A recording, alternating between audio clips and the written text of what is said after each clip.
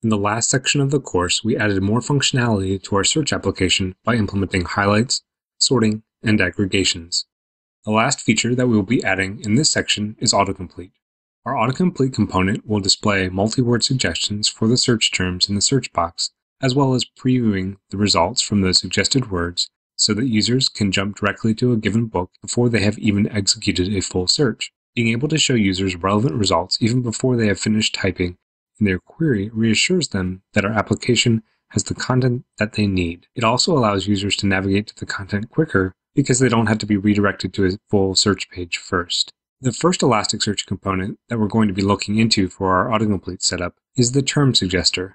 The term suggester looks at the terms in the provided query and returns alternatives for each term. For instance, if we search for a word that is not in our index, in this case, pearl, like the kind found in the ocean, the top suggestion that Elasticsearch returns is Perl, the programming language, a much more suitable keyword. Let's take a second to look at the syntax. First, we have our suggest object, and within that, we specify a name for our suggestions. We call it autocomplete, but it could be any arbitrary name.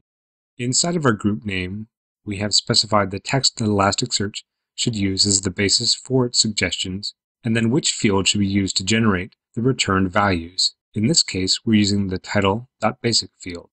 If we input additional words, such as Drupal website with Drupal misspelled, now the options returned from the suggester include separate objects for each term. But looking at our misspelled term Drupal autocomplete suggests Drupal, no options are returned for website because that term exists in our database. Whether or not a suggestion is returned can be controlled by the suggest underscore mode setting. The available modes include always, which returns any available suggestions, popular, which returns only words that are more frequent than the term provided, and missing, which only returns a suggestion if the original term doesn't have any matches in the given field. For the purposes of our search engine, we are more concerned with how often a word occurs, so we will go with popular. So far, we've been looking at individual terms. The term suggester gave us the tools to suggest alternate terms if an individual word is misspelled or incomplete. What happens if we need to check a longer string containing multiple terms? In that situation, we might want to use the phrase suggester. The phrase suggester has some additional settings, such as the prefix length. By setting it to 2, this means that the first two characters in the input have to match for a suggestion to be returned. So if we search for Django, it will return Django, but not if we type an R instead of a D at the beginning of the word.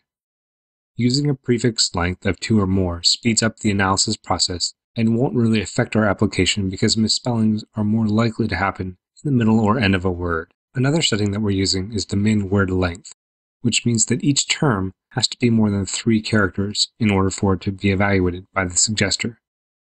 Now that we have a query that will allow us to return suggestions, we can implement it into our search application. We'll do that in the next video.